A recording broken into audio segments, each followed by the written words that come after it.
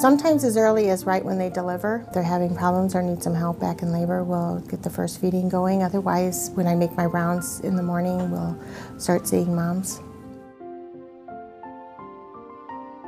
If a mom delivers vaginally, that baby is able to come right out and go right to mom's chest and that skin to skin. So skin to skin after delivery is a huge, has a huge impact on the readiness of that baby to breastfeed.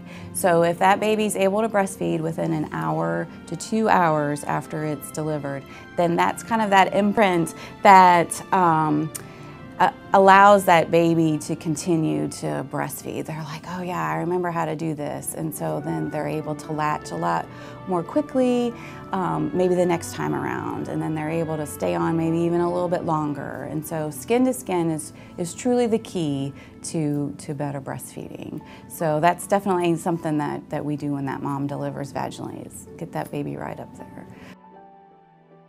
I called the lactation department and I called and they met with me and they helped me multiple times. Um, help my baby learn how to breastfeed better and help me um, learn how to breastfeed.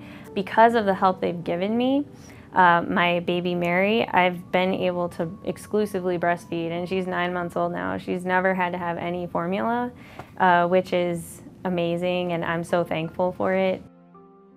We do a PowerPoint and it usually lasts about two and a half hours and it's a very relaxed atmosphere so moms can get up and move around if they're getting uncomfortable. We take breaks. We also have that they can ask questions.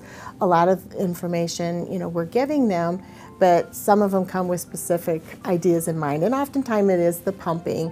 They want to know, you know, how am I going to do this? I can do this while I'm at home, but how is it going to work when I go to, you know, it's time for me to go to work? How am I going to manage pumping? So we cover those questions with them and we give them a book that they have um, access then on internet with the Enjoy book that they can um, look up information there too. So we give them a lot of information in those classes.